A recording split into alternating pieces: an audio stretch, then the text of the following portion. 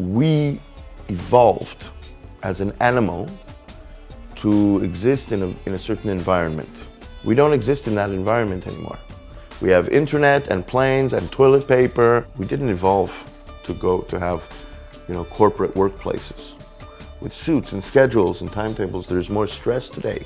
If you are in a situation which is not normal for you, you might need to revert to tools that are not normal for you.